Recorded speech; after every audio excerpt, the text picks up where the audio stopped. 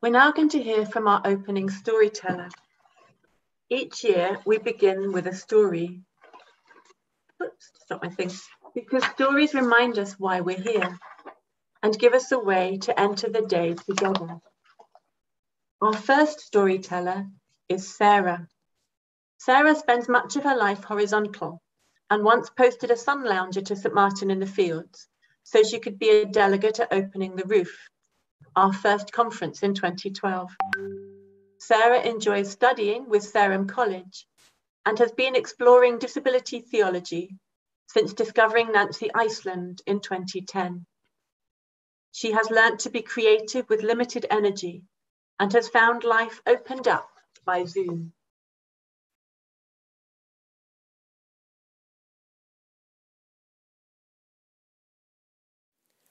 I ask people to leave a space between sentences so I can take it in. I need a space between things to let them breathe.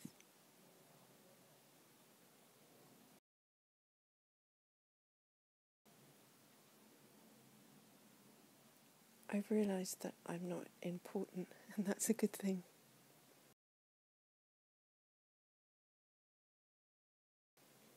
I'm not the center of the universe, and that's incredibly liberating. It's not all down to me. Being on the periphery can be a good thing.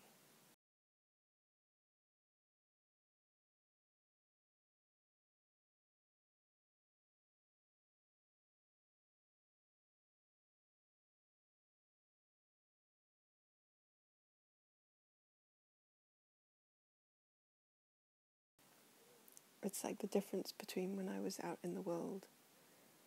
You know, when you're trying to change the world and you think it's all on you, and then you realize it's about being part of the community.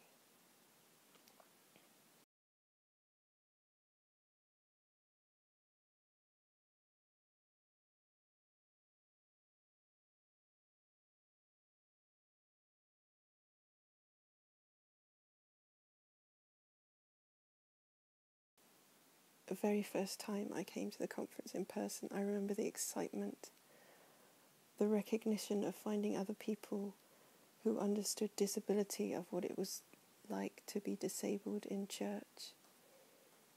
So you're not having to constantly explain yourself to non disabled people or justify your existence.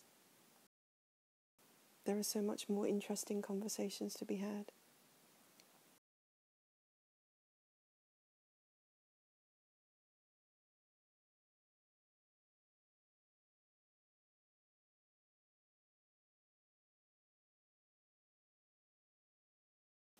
And it's so wonderful to be able to be part of it again. I wasn't able to come for some time. Um, my world got smaller as my health deteriorated. It became very, very local. It began with not being able to travel to London, but I could still go to church. Then I couldn't get to the church or the front garden.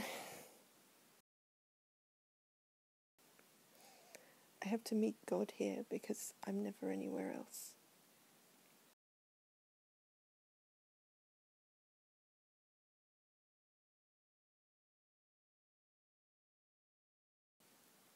I remember going to a parish quiet day when I could still travel.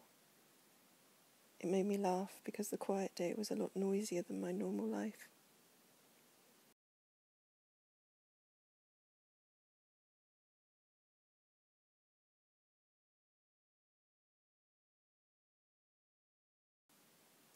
I've become an involuntary hermit, trying to work out how to do church things without being able to get to church, like an accidental anchoress. I became very attached to the daily offices because I could imagine people praying at the same time as me,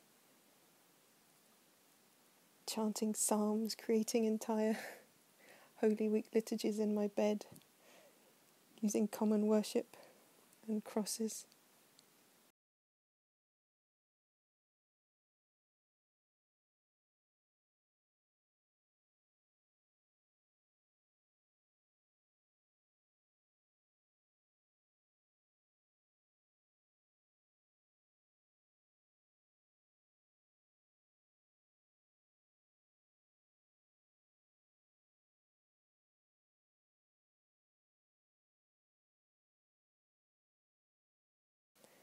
But it was on my own a lot of the time. And then the pandemic happened, and it was as though everyone came to join me. With all the Zoom things, it was like the world opened up to me. I love Zoom so much.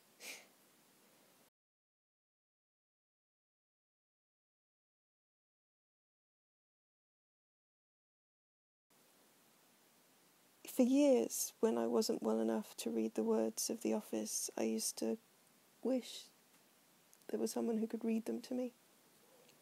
And now every morning, I have a group of people reading the office with me, all on squares on the screen, glowing like icons. And I could join the conference again last year because it was on Zoom.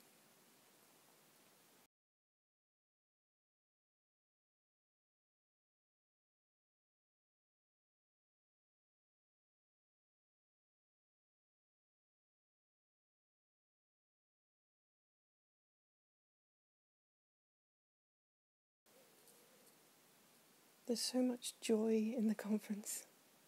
Sometimes I feel like I'm riding on a wave even though I'm utterly exhausted. I remember the first conference, something that Claire Herbert said after seeing us all resting about the atmosphere of peace and calm. It was lunchtime, we were all lying down quiet in the chapel, and she was struck by how it altered her perception of time.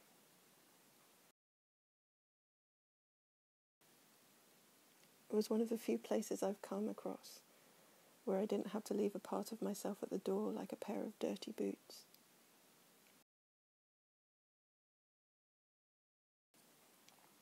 It can seem a little unreal now when I travelled all that way. but I found a photo of the conference from 2014. It was proof I was there. You can only see my knee, but it's my knee.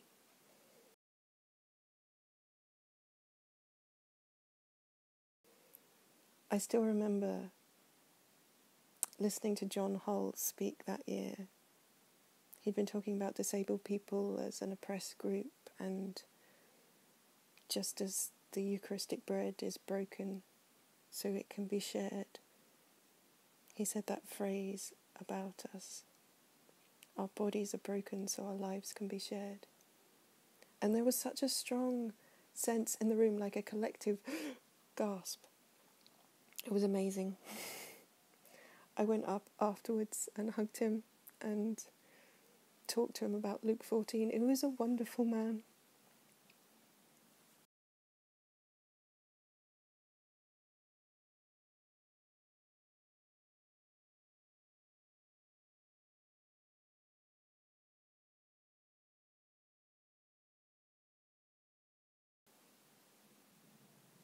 After the monthly Zoom coffees we started having in the last year, I always feel so much more human. It's restorative.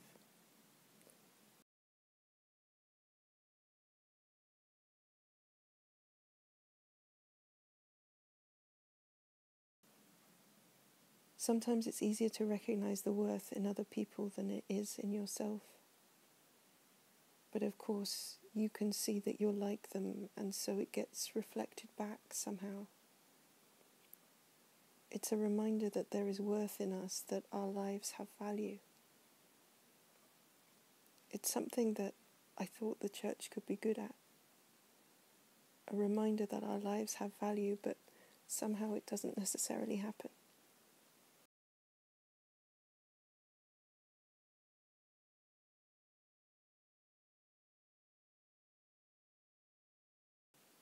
These coffee gatherings having our worth reflected in each other, mirrored. It's such a good thing.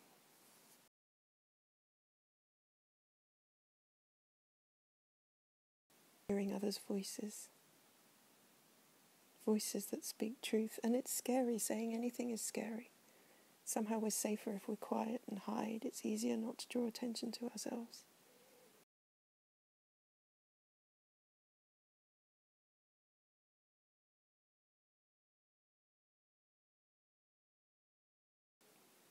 And I have been there when I've been able to, speak at all, and that's fine.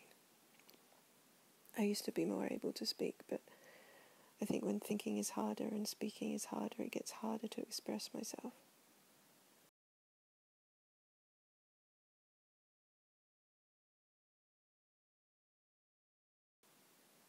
But I always think the resurrected Christ must have been exhausted.